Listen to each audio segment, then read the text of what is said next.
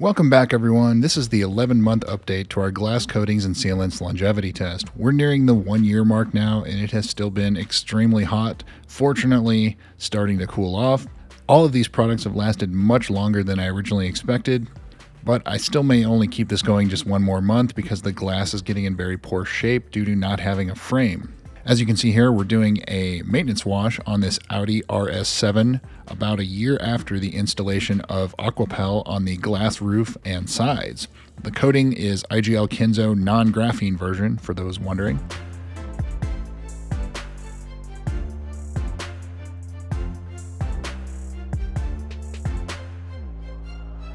So as usual, we will foam everything down using Chemical Guys Honeydew Snow Foam. Rinse it, foam it again, wash it, and then of course rinse everything to inspect the hydrophobic properties before drying everything off. So without further ado, let's do further and see how things are holding up.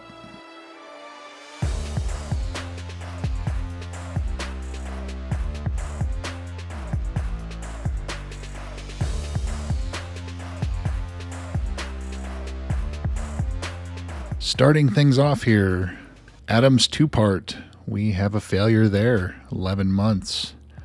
Armor All getting pretty weak. Still hanging in there.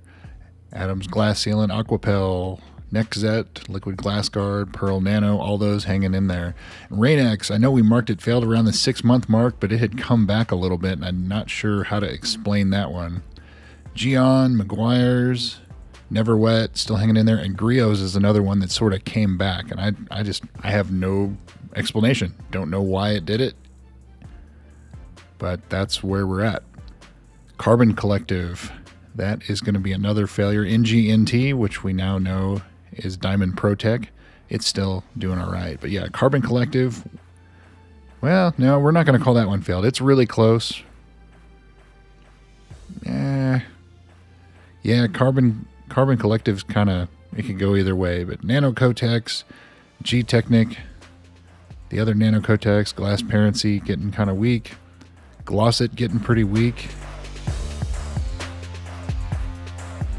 System X still doing all right, and Shutter X doing all right. Yeah, the glass is getting in poor condition. Sorry, I'm kind of jumping all over the place there. Starting to run out of daylight here. So there's your update, guys. We'll do a little more thorough update for the one year mark. We'll go through, look at water spots, things like that. So sorry about the quick update, but that's all I have for you this month. So thanks again for watching, and we'll see you soon.